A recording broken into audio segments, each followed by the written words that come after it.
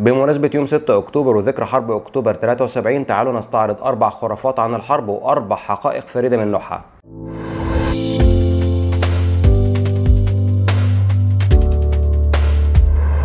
السلام عليكم ورحمة الله وبركاته. معاكم محمد حسني وأهلا بكم في حلقة جديدة من برنامج War Bus البرنامج باختصار War and Business الحرب والبزنس. حلقة النهاردة هي حلقة خاصة بمناسبة ذكرى حرب أكتوبر 73 وهنتكلم عن أربع خرافات عن الحرب بالإضافة لأربع حقائق فريدة من نوعها عن الحرب. ولما أقول فريدة من نوعها يعني لا اتكررت قبل 73 ولا اتكررت تاني بعد 73 ونبدأ بالخرافات وأول خرافة معانا هي نصر أكتوبر 73 ما كانش نصر حقيقي وفعلي.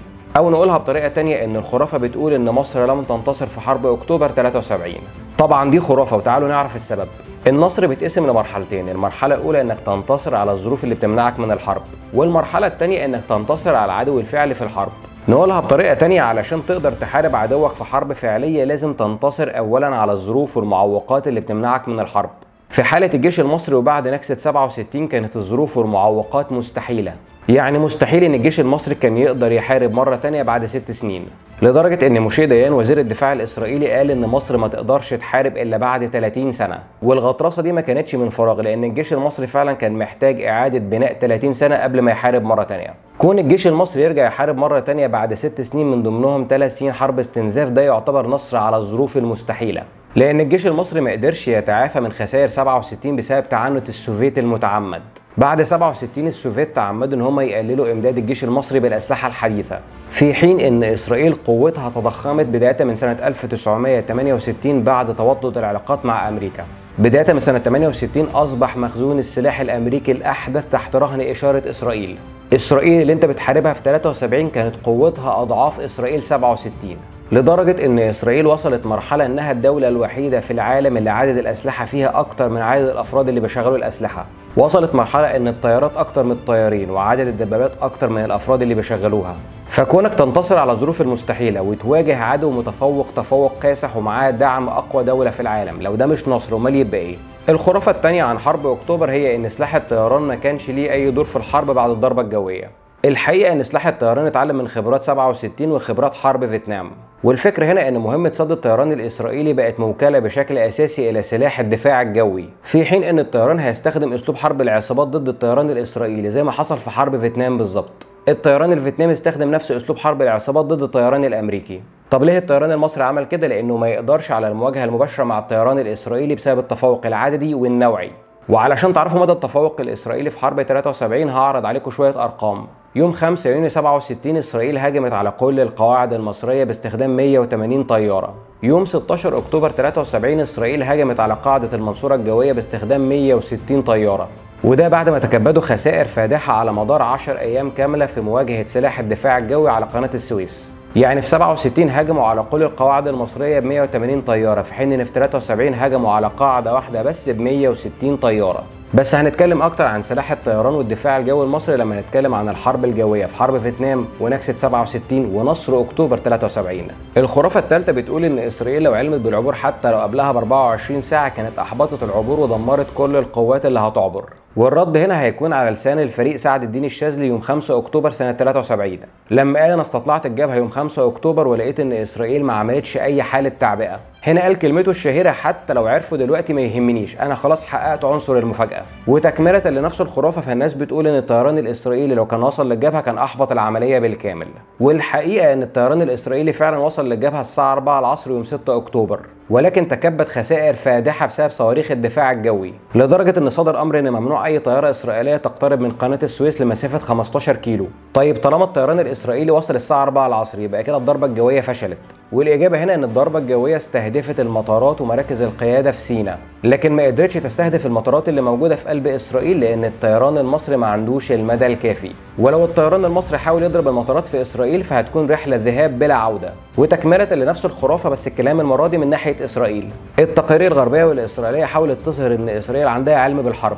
لما قالوا إن جولدا مائير رئيسه وزراء إسرائيل كان عندها علم بالحرب في صباح يوم 6 أكتوبر ولكنها قررت إن إسرائيل ما تهجمش الأول عشان ما تظهرش بمظهر المعتدي. والكلام ده لو صحيح كانت إسرائيل أعلنت التعبئة في صباح يوم 6 أكتوبر لكن ده ما حصلش. أول جرس إنذار وإعلان تعبئة في إسرائيل بدأ بعد الساعة 2 الظهر يعني بعد ما الحرب بدأت. الخرافة الرابعة وهي خرافة غربية بتقول إن خط بارليف كان خط دفاعي عادي. ودي محاولة للتقليل من حجم عملية العبور يوم 6 أكتوبر 73 لكن الحقيقة أن خط بارليف هو أقوى خط دفاع اتبنى في التاريخ الحديث لدرجة أن خط ماجنو الفرنسي يعتبر بالنسبة لخط بارليف سور مدرسة ابتدائي. الألمان سنة 1940 ما هاجموش هجوم مباشر على خط ماجنو وإنما التفوا حواليه لحد ما استسلم.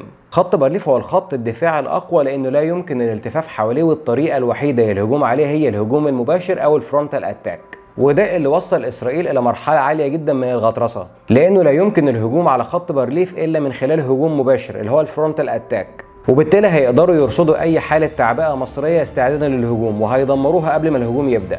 لكن ده ما حصلش وما قدروش يرصدوا التعبئة المصرية وسقط خط بارليف. ونيجي للجزء الثاني من الحلقة وهي أربع حقائق فريدة من نوعها عن حرب أكتوبر 73 وأكد تاني فريدة من نوعها يعني لا اتكررت قبل 73 ولا اتكررت بعد 73 رقم واحد أول معركة وحرب في التاريخ العسكري الحديث تبدأ الساعة 2 الظهر. كل المعارك في التاريخ الحديث بتبدأ مع أول ضوء أو آخر ضوء. والهجوم الساعة 2 الظهر ليه سببين، السبب الأول هو عنصر المفاجأة، لأن العدو ما يتوقعش أبدا إنك هتهجم في وقت زي ده، المعتاد دايما إن الهجوم يكون مع أول ضوء أو آخر ضوء. السبب الثاني وده سبب عبقري وهو مراعاة المد والجزر في قناة السويس. لأن قناة السويس فيها حالات مد وجزر كتيرة بالإضافة للطيارات المتداخلة. لأن في حالة الهجوم والطيار في قناة السويس شديد ممكن الطيار يحرف المقاتلين عن مسارهم.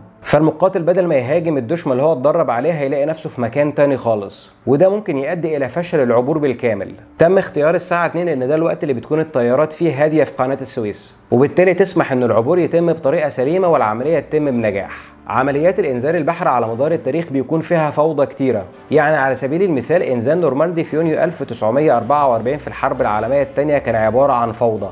في حين إن عملية العبور يوم 6 أكتوبر 1973 كانت ماشية بدقة الساعة وده بتأكيد الخبراء والمؤرخين العسكريين على مستوى العالم يعني الكلام ده مش من عندنا.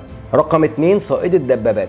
لأول مرة في التاريخ يتم تشكيل كتائب من المشاة علشان يواجهوا فرق الدبابات.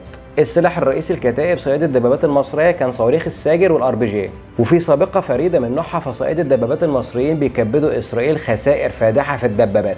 وبيقدروا إن هم يعطلوا هجوم الدبابات الإسرائيلية على قناة السويس لحين عبور الدبابات المصرية. الدبابات الإسرائيلية لو كانت وصلت قناة السويس كانت أحبطت العبور بالكامل.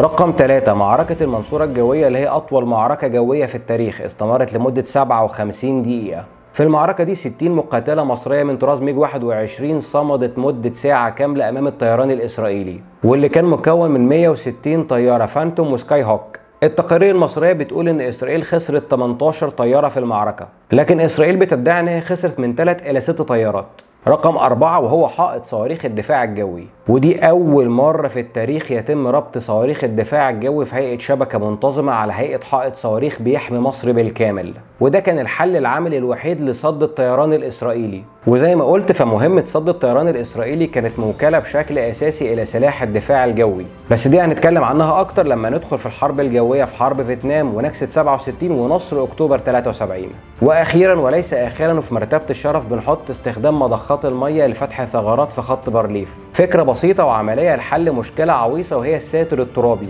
لولا استخدام مضخات المية لفتح ثغرات في الساتر الترابي ما كانتش قدرت الدبابات المصرية هنا تعبر قناة السويس. وبكده أكون وصلت لنهاية الحلقة وكان لازم نتكلم عن الأربع خرافات والأربع حقائق الفريدة من نوعها عن حرب أكتوبر 73 ذكرى أكتوبر سعيدة وأشوفكم في حلقة جديدة إن شاء الله. والسلام عليكم ورحمة الله وبركاته.